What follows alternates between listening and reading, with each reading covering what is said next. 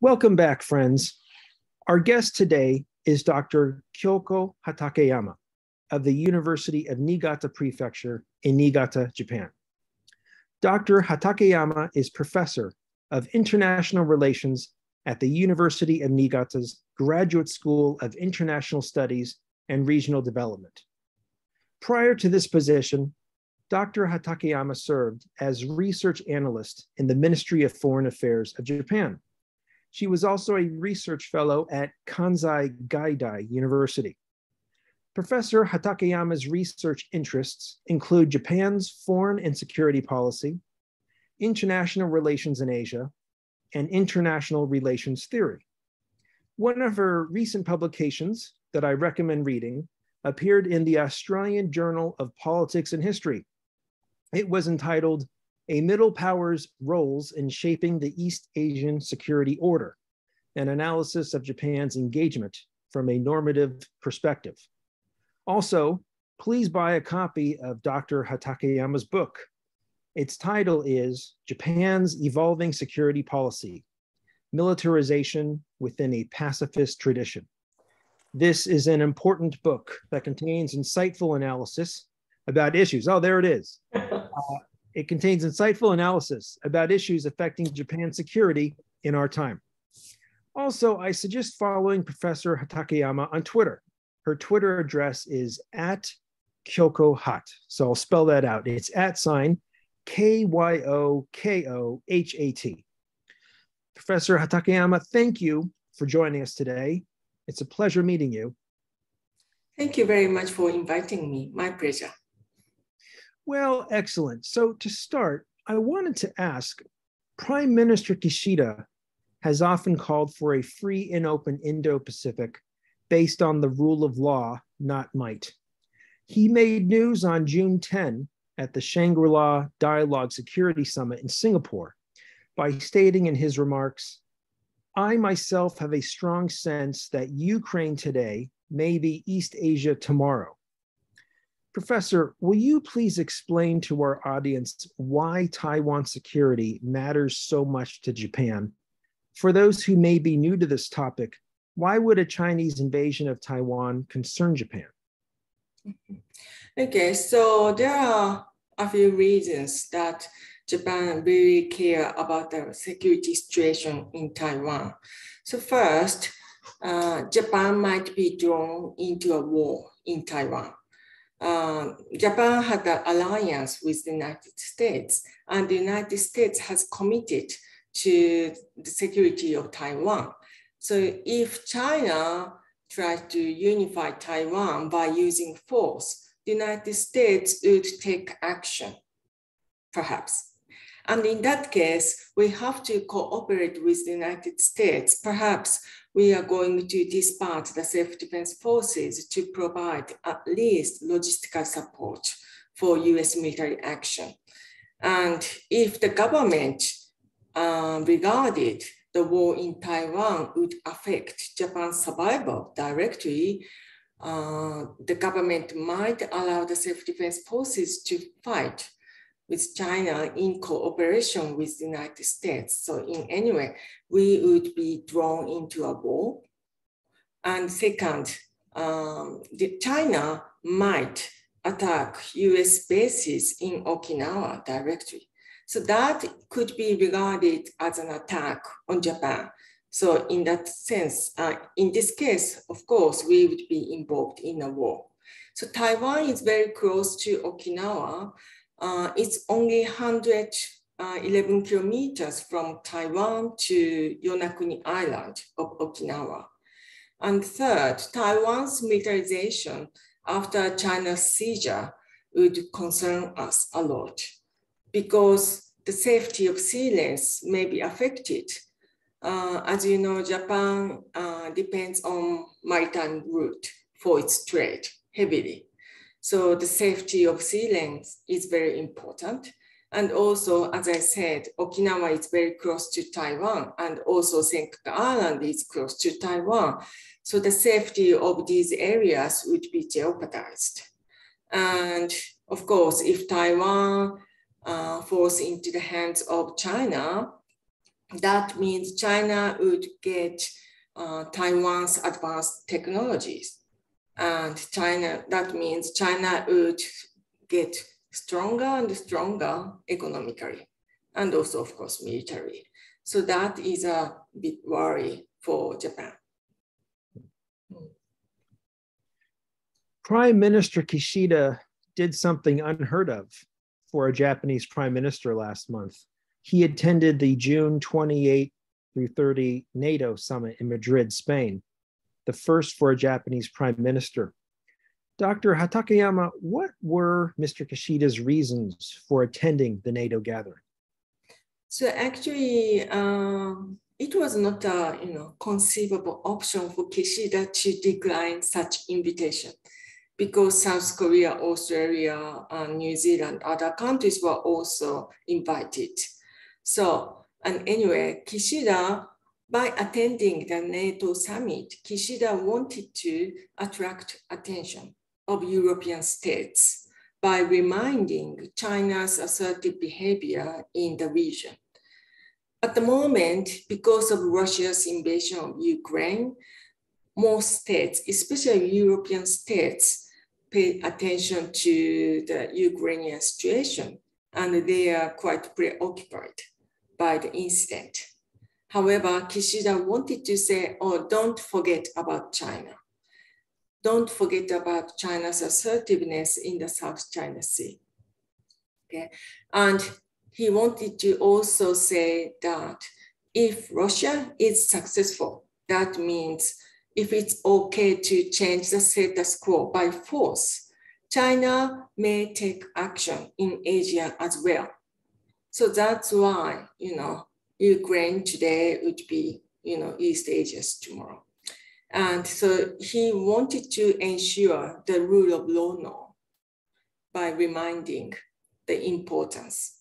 And also he wanted to show the unity or a strong bond to the world between Japan and NATO countries. So that would work as a deterrence to China. So that is a kind of message to China. Look, Japan has a strong unity and bond with NATO states. And if China escalates its action, we would respond to that. So that was a great opportunity for Kishida to send a message to the world. Mm.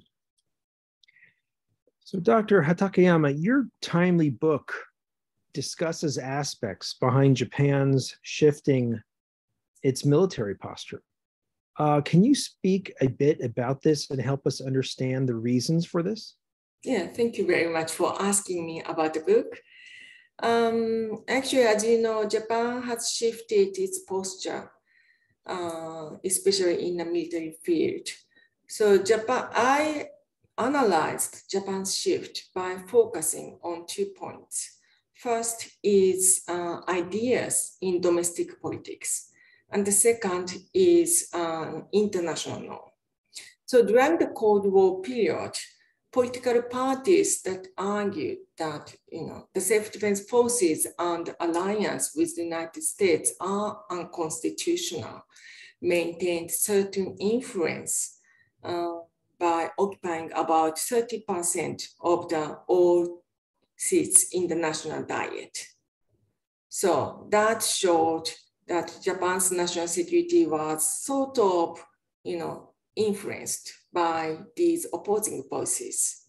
However, in the post-Cold War period, the international society started to exp expect Japan to play a more significant role even in security area. So that is a kind of international norm that all major states need to contribute to peace and stability of the world militarily, not only economic means, but also military. So the Gulf War crisis is a good example. Japan contributed huge amount of money to the war to support the multinational forces. However, Japan's contribution was not appreciated. And rather it was criticized as too late, too little. So Japan learned a lesson that we need to contribute to peace and stability of the world by dispatching the self-defense forces. So economic contribution that Japan depended uh, during the Cold War era was not good enough. So this idea, or I should say norm, enter the Japanese society. And then that localization, I mean the localization between the international norm and domestic, domestic norm of non-use of force, which is symbolized by Article 9, happened. So the anti-militarist idea that anything military is bad declined. And subsequently, the JSP and other left parties lost its influence in domestic politics. So now, if you look at Japanese political parties, almost, you know, all parties, almost all parties have an idea that Japan should make a contribution militarily to peace and stability of the world. So they think it's okay to dispatch the self-defense forces for military action if it's for world peace. Mm. So they are quite positive. And uh, so, but what I wanted to, what I want to emphasize is they support the idea that Japan make a military contribution, but they believe that contribution should not um, be made beyond self-defense. Mm. So it's because of domestic norm, which is symbolized by Article 9. So we can make a military contribution within the limits imposed by Article 9. Okay. So that contribution should not be beyond self-defense. So now you see, you know, the self-defense forces are training with US forces and other countries' forces, and also they conduct joint exercise, etc. And also we provide military support to other countries. So you have an impression that Japan has uh, played a you know, big military role. That is true. But now Japan thinks playing a military role is an appropriate behavior in the world as a member of the international society or as a member of the like-minded states, Western group. So that was not, that was, so making a military contribution was, was not an appropriate behavior during the Cold War period.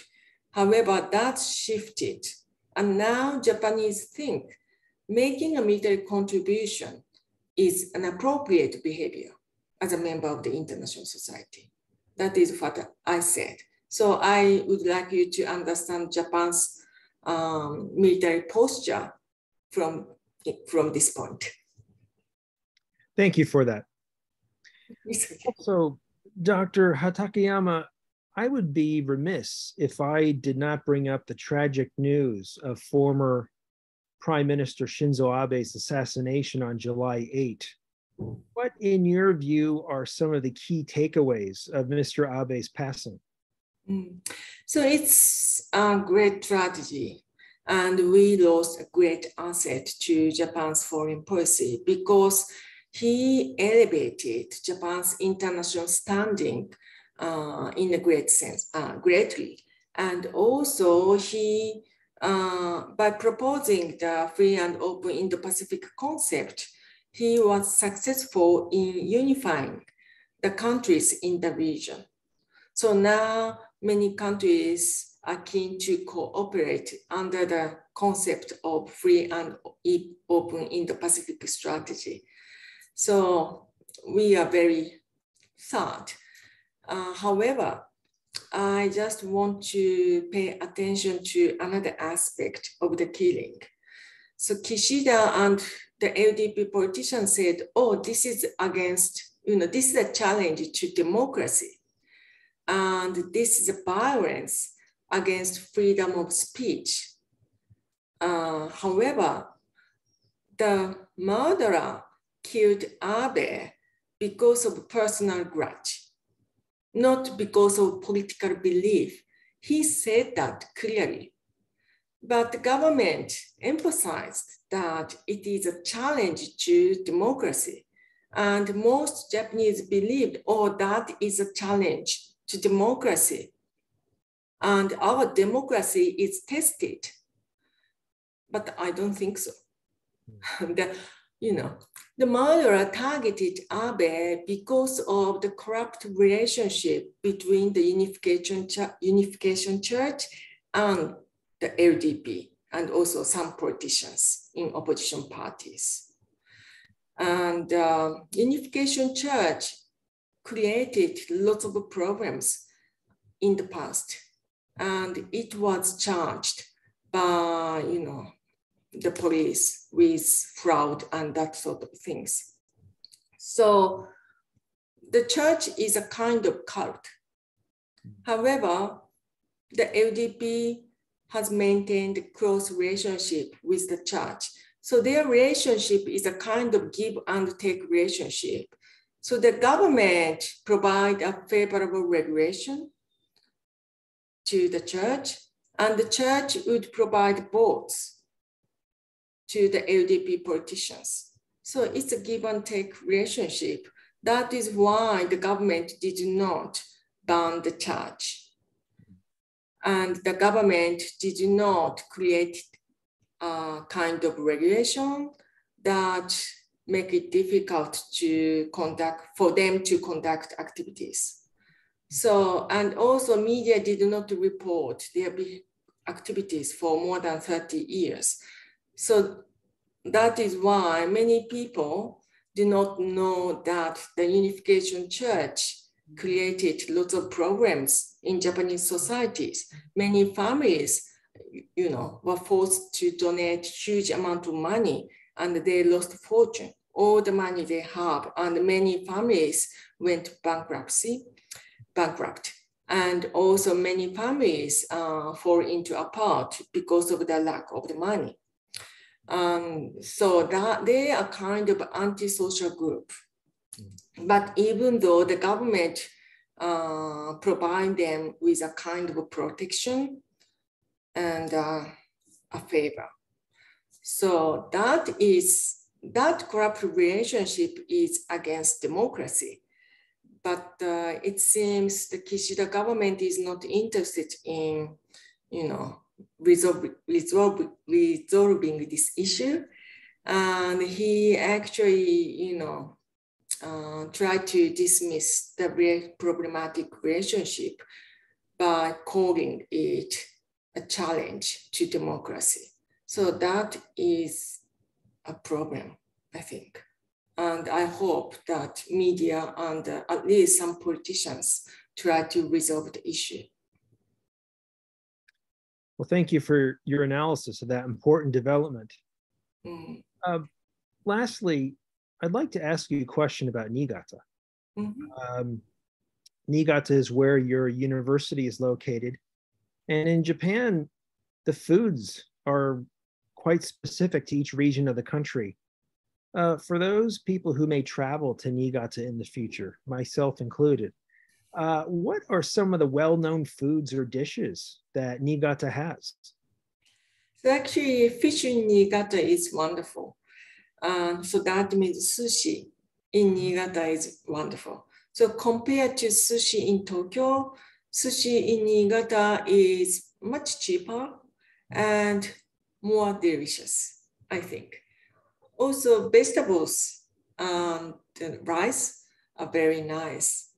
Um, so generally speaking, food is quite nice and much cheaper than in Tokyo. So when you go to Niigata, you should enjoy sushi and fish.